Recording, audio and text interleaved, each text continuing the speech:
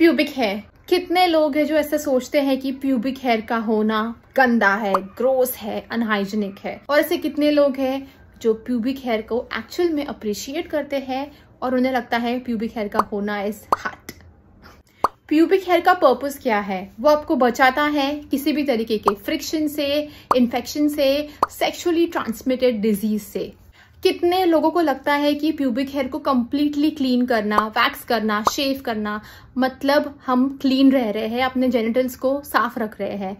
No that's wrong pubic hair का ना होना मतलब आप और चांसेस बढ़ा रहे हो कि आपको इन्फेक्शन और इंजरी हो जाए। मतलब वैक्सिंग करना शेव करना क्रीम से प्यूबिक हेयर को निकालना आपको कहीं से भी ये हेल्दियर या बेटर नहीं बनाता है। ये आपकी पर्सनल चॉइस है। और प्यूबिक हेयर को नहीं निकालना, ये भी एक पर्सनल चॉइस है। डजेंट मैटर आपका क्या जेंडर है। अगर आपको प्यूबिक हेयर फिर भी निकालना है and you want to keep things short there then you can always trim trimming is the best option आप सिजर से भी ट्रिम कर सकते हो या स्पेसिफिकली प्यूबिक हेयर वाले ट्रिमर्स भी यूज़ कर सकते हो। क्योंकि वैक्सिंग पेनफुल हो सकता है शेविंग से कट्स आ सकते हैं।